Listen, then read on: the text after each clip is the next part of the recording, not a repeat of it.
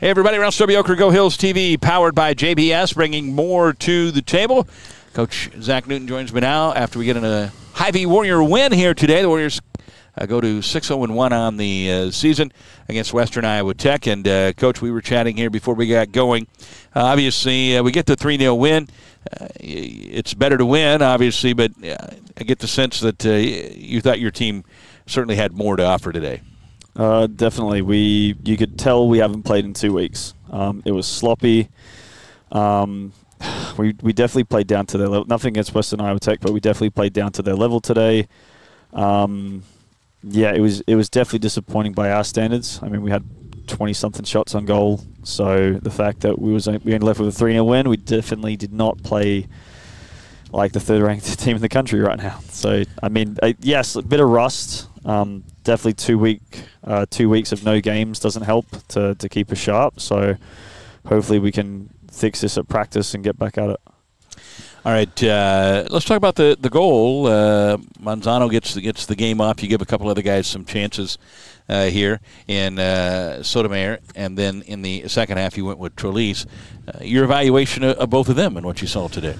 I, I think at the goalkeeper position, we're we're definitely pretty solid. Um, you know, if Bernardo's out or if he's not playing, um, it's nice to see that Jacopo and uh, Ugo can definitely do the job. So, no, I think they did well. Um, they made saves when they needed to make saves. I don't think they did anything too risky or dangerous, which was good. Um, but no, I was very happy with how they did. Probably more so than majority of our field players, to be honest, today. Uh, goal, two goals from Daniel Malero. He is your leading goal scorer. Uh, the one uh, on the corner, he puts it in. So obviously, we see that as a as a you know a fun, exciting play, but uh, it's not a high percentage play uh, throughout the season. So talk a little bit about uh, his two goals, and then you know what you wanted to see on offense today that you didn't see. Um, I wanted to see us be a bit more aggressive, especially when we won the ball in counter-attacking situations, and we weren't. Um, we were way too slow. We weren't as direct, um, you know, in finding through passes. Uh, um, that's that's probably the biggest thing today. I think we didn't do a good enough job of, you know, definitely looking to exploit the space that left him behind. They had a very flat high line, and we didn't exploit that enough. Um, we didn't combine very well in wide areas. Um, you know, just in terms of one-two plays, just trying to draw out plays, we didn't do a very good job of that. So, um, uh, in terms of high percentage plays, uh, Danny's shot was good. He tr- obviously tried to replicate it again for a second shot, which was a little bit frustrating. So there's only so many times that can work. It's usually a one-off, um, and then he tried to do it a second time. Um, he was definitely feeling in his element. Danny played very, very well today. I think when he was on, um, a lot of stuff happened. But I think my biggest issue with today is, you know, it's it's a team sport. You can't just rely on one person to, to finish and get the goals, and we need other guys to step up. And a lot of guys did not step up today.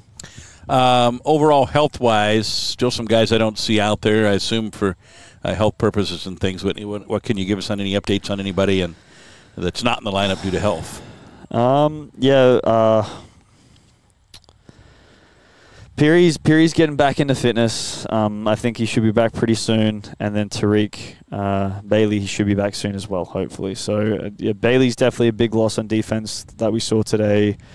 Um, I think Peary just when we have games when you see 20 shots on goal and and only three goals, and that's a very low scoring game with that amount of shots. Um, you know, Peary's in. I know he's not you know, his uh, his goal to shot ratio is very good. So um, definitely not having him is a bit of a loss. But I mean, we've we performed without him in games as well. So it's just you know we need the guys, and like I said, maybe it's just the two weeks off that's really kind of put us in a bit of a funk. Um, but you know we, we definitely got to be better there. So hopefully those two guys coming back will be a big boost for us. All right, coach, you got Jefferson uh, coming in here on Sunday.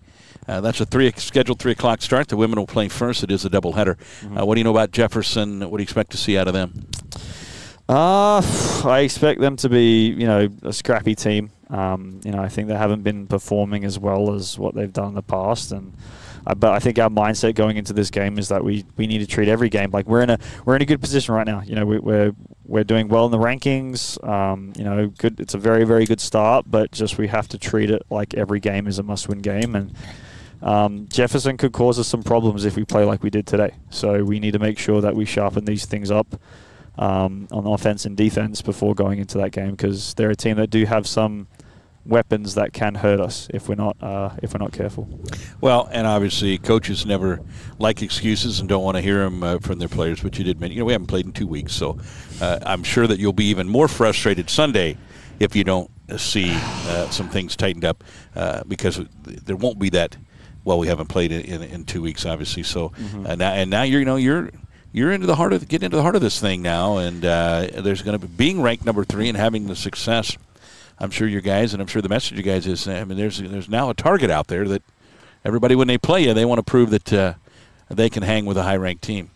Yeah, yeah, and next week in particular is going to be a very tough stretch of games. We've got Cowley, who's um, you know just under us in the rankings, and they're always a very competitive team, very talented team, very well coached. Um, so they, they will be a team that you know I like I told our guys if we play like we did today against Cowley, they're going to murder us. That's just the reality. Um, and then you have Illinois Central, who's also ranked. Um, you know, they're just inside the top 25, and they're a pretty good team as well. So next week is going to be very, very tough. So, you know, I would have liked to have played one more game to prepare for this stretch. Um, you know, so the Crowder game getting cancelled is pretty frustrating. Um, but you know, hopefully the guys just work hard at practice and we can get going. All right, Coach. Congrats on the win, and uh, we'll see you on Sunday. It's a Hy-Vee Warrior win today. The Warriors get their sixth win of the season to go along with no losses and one uh, tie. We're ranked number three in the country, and we'll be back here on Sunday against Jefferson for the entire crew. Uh, here on Go Hills TV, powered by JBS, I'm Russ W. Oker saying so long, everybody.